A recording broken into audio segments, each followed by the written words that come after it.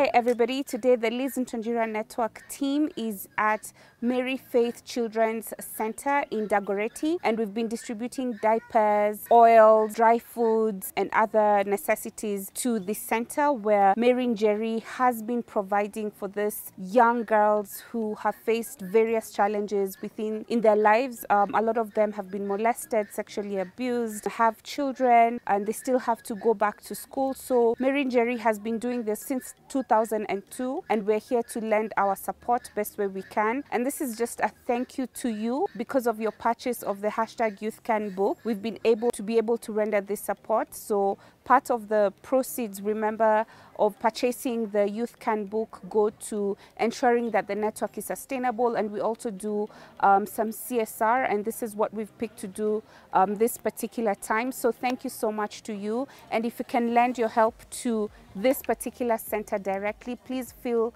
free to reach out to Mary Njeri of the Mary uh, Faith Children's um, Center and offer your support. She's doing such an amazing work.